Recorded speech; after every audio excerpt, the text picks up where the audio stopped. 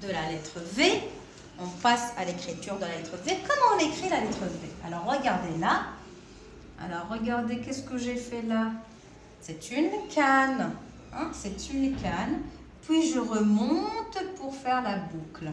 Hein, regardez, c'est la lettre V. Alors je recommence avec une autre couleur. Alors la lettre V, c'est comme si je vais faire une canne, puis je remonte et je fais une petite boucle. Je monte combien d'interlignes Je monte une interligne. Je monte une interligne pour écrire la lettre V. Alors je recommence avec une autre couleur encore. Alors c'est comme si je vais faire une canne. Voilà, c'est une canne. Mais je ne m'arrête pas, je tourne, je dois tourner pour remonter pour faire la boucle. Hum, je recommence.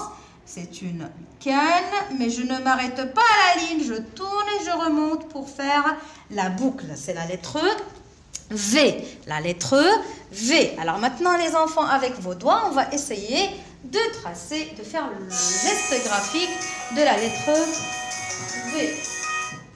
Alors, on va faire le geste graphique de la lettre V. Alors, comment on écrit la lettre V? Regardez. Alors, je descends avec une canne, puis je remonte pour faire la boucle. Je répète, je descends avec une canne, puis je remonte pour faire la boucle.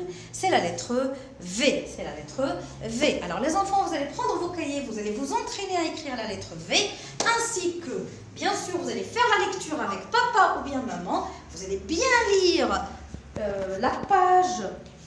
Alors, vous avez l'écriture sur la page numéro 95. Vous lisez bien cette page et bien sûr, vous allez vous entraîner à écrire cette phrase aussi. Vous allez vous entraîner à écrire, à écrire cette phrase plusieurs fois. Très bien, bravo les enfants.